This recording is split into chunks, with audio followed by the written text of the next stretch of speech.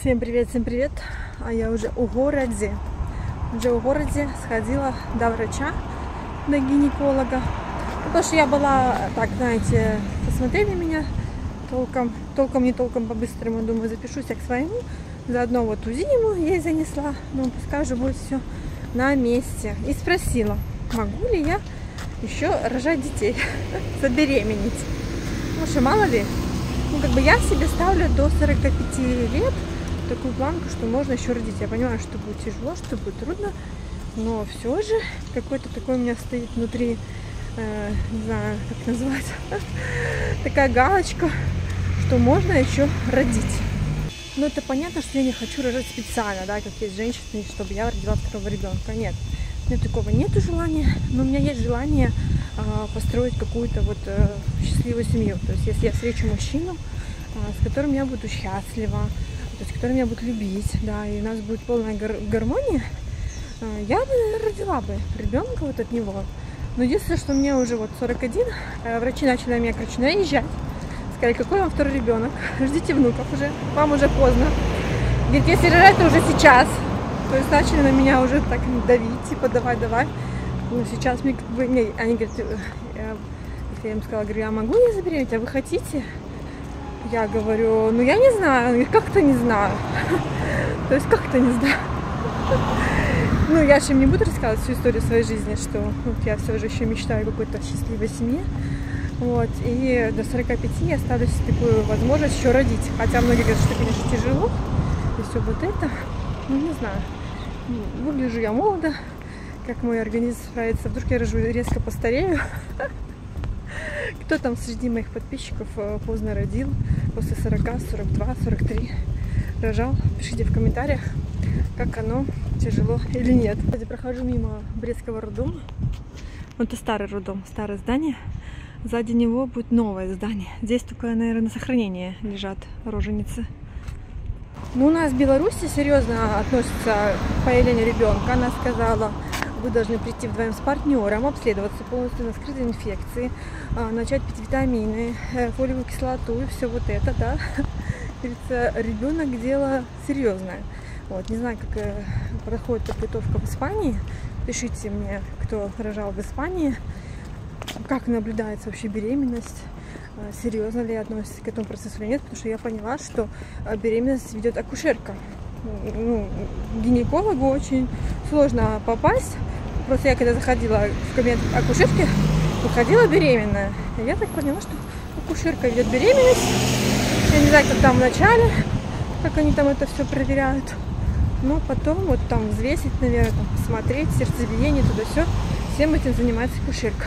Мне очень интересно, как обстоят дела в Испании с деторождением и появлением детей. Хотя для Испании э, вот 40 лет это вообще молодость. Они начинают жениться там 35, 40, 40 40 заводить детей только. Но понятно, что у меня генетика не испанки, а белорусские. Но все равно, как бы, для Испании я очень молода.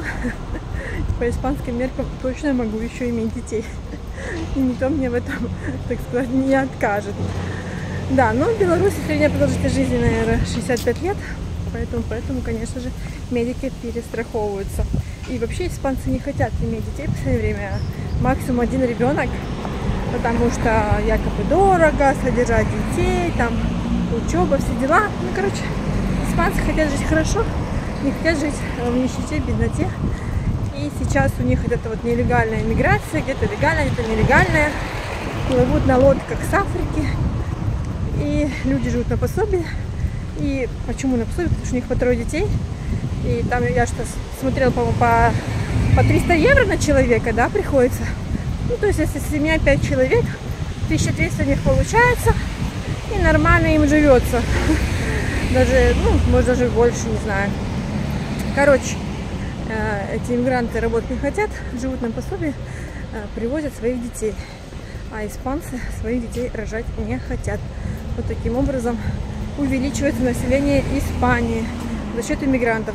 Но если от этого польза, потому что люди сидят на пособии, они-то не работают, они-то не приносят, э, ну, так сказать, прибыль государству.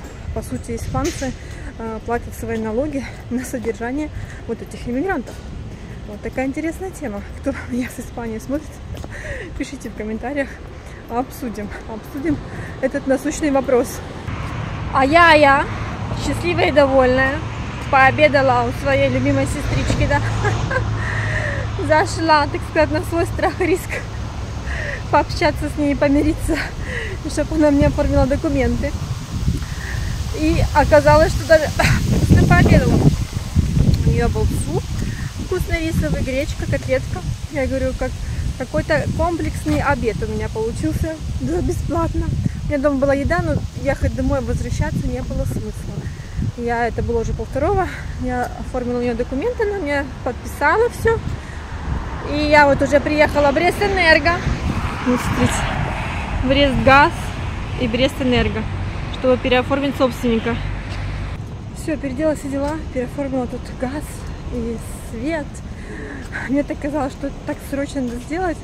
Все равно, главное платить деньги. Я уже приехала в центр города, потому что я была на другом конце города. А прямого транспорта нет, ни маршрутки, ни автобуса. Поэтому я приехала троллейбуса. Сейчас вот сделала присадку. Зайду в магазин и иду на свой транспорт ехать домой. Так устала. Так спать хочется пол пятого. А, кстати, видео выйдет поздно. Я пока ехала в автобусе, смонтировала за вчерашний день. И когда я его загружу, не знаю. Короче, видео сегодня выйдет поздно. Все же после обеда такая жара, знаете, вот была в 12 часов, даже был прохладный ветерок. И сейчас такая жара. Не такая, как была. Просто было вообще невыносимо, не знаю, градусов 35. Сейчас может градусов 30. Но тоже очень жарко. Все, я уже иду домой, приехала к себе на район. А, получается, переоформила я этот газ, электроэнергию, у меня остался водоканал и мусор. Я посмотрела, что мусор сегодня до без 15.4 работает, а водоканал в той же степи. Поэтому я решила, нету смысла мне сейчас ехать только водоканала. Я уже на следующей неделе закончу переоформление. И на следующей неделе пойду подам на развод. Уже прошло три месяца. Три месяца, как я в Беларуси, да? Представляете? Давайте посчитаем. 25 апреля я приехала. 25 мая. 25 июня, да, 25 июля будет три месяца. Вы представляете? Три месяца. Как быстро время летит. И как бы я думала, это решение взвешенное. Говорится, конечно, есть сожаление, есть э, привязанность, э, есть привычка, есть какие-то нежные чувства к этому человеку. Но, как говорится, жить мы вместе не можем, и назад дороги нет. Все же вот это нервотрепка не для меня. Мне сейчас так хорошо, мне все пишут, что я расцвела в Беларуси. Может и так, потому что мне реально все делают комплименты, мужчины бесконечно пишут, хотят познакомиться. Короче, я решила, что ставить крест на молодой такой красивой девушке. Говорится, куй железо, пока горячо. Так что буду активно знакомиться. Первый мой приезд я приезжала, мне не хотелось знакомиться как-то, я была разочарована в этих отношениях и все вот это. Но так как я уже в психологии три года, я уже проработала все свои, так сказать, травмы, затыки. И, говорится, на разводе жизнь останавливается, а только начинается. Тяжело принять э, решение о разводе. Это да. Я, говорится, год. Еще в том году я была не в ресурсе абсолютно. Разводиться мне это не хотелось, мне это было удобно жить с этим человеком, вторичная выгода жертвы, да, мне было удобно не работать, чтобы меня содержали, да, не хотелось мне ехать в Беларусь и работать здесь за 3 копейки. Но, говорится, всему есть э, терпение заканчивается, вот, и мое терпение закончилось, и все же я в итоге приняла решение уехать из Испании и развестись со своим испанским мужем. И вы знаете, я даже не думала, что так начну быстро знакомиться. Я думала, ну через полгода. Я поставила себе такую планку. Но сейчас я понимаю, ну а чего нет? Как бы психологи, да, советуют там через год знакомиться. Принципе, я, мне кажется, я все свое проработала. Все свои, говорится, минусы вижу. Буду знакомиться. И буду уже это, так сказать, как говорил Лобковский, ходить на свидание, отсеивать и смотреть, кто нравится, кто не нравится. И строить заново отношения, да. Надеюсь, в этот раз мне повезет. И я построю наконец-то счастливые, гармоничные отношения. Да, и буду счастлива в своей жизни. А то что-то этот геморрой с абьюзом мне уже поднадоело. Уже я так не хочу, нет. Уже как-то хочется быть счастливой и любимой. Есть мужчины и женщины, знаете, после неудавшихся отношений а, ставят на себе крест и говорят, не-не, я больше в отношении нет, не хочу. Я же как то птица Феникс, сколько у меня было этих неудавшихся отношений, из раза в раз стою иду в новое новые отношения, так сказать, возрождаюсь из пепла и начинаю заново знакомиться. В моей жизни было две большие созависимости. Это когда вот случился мой первый развод, э, мне было года 23, наверное, а парню 25. Это такая, знаете, такая была у меня такая безумная первая любовь, такая серьезная. И мне казалось, что я уже лучше его не найду. И я лет пять, да, по нему сохла, ни на кого не обращала внимания, все вот это. Потом как-то я его подзабыла, вот тоже так с одним познакомилась, со вторым. И что вы думаете, буквально через, наверное, года четыре встретился этот мексиканец мне. Я уже думала, все, проработанное, и будет мне счастье. Нет, опять вляпалась в дерьмо, понимаете. Опять созависимость, опять, не знаю, опять на пять лет я по нему сохла. И, и мне казалось, что это лучший мужчина на планете, понимаете. Долго вот этого тоже долго прорабатывала. Вот только-только меня стало отпускать. Ой, я уже надеюсь, что мой мозг подуспокоился, и больше ему такие приключения на жопу не нужны. Я уже буду адекватно оценивать э, ситуацию. Надеюсь, я уже полюбила себя, подняла себе самооценку, потому что я потрясающая. Да, у меня наклеечка на телефоне, напоминалочка. Поэтому, поэтому я уже надеюсь, что вот таких абьюзеров, манипуляторов выбирать мой мозг больше не будет. Вообще это даже как подсознание выбирает, знаете, какая-то такая стоит программа в голове, типа выбери его, выбери его. Нет, все, хватит. Теперь буду выбирать э, людей со здоровой психикой. Кстати, в знакомств много испанцев интересных испанцев. Ну, как писали, говорили в других видео блогеры, что испанцы ищут тоже э, невесту с приданым. Потому что каждый раз, когда я говорю, что я работаю продавцом, все говорят, у тебя свой магазин, у тебя он один писал, у тебя онлайн-магазин, другой, у тебя свой магазин, то есть все думают, что ты тут ну, при бизнесе, да, при бизнесе, и вот только тебе не хватает мужика для полного счастья, да. Короче, испанцы, да, хотят, чтобы ты была при полном комплекте, это правда. Ну что, я первым делом сходила в душ, освежилась, как без этого. А, загрузила видео на канал, так что заходите, смотрите. Кто не видел мое вчерашнее видео уже, да, сегодня вы будете смотреть уже другое видео. Там я рассказываю про бумеранг. Как говорится, бумеранг никто не отменял, и я могу прийти на вашу работу и также качать свои права, потому что у меня же они есть.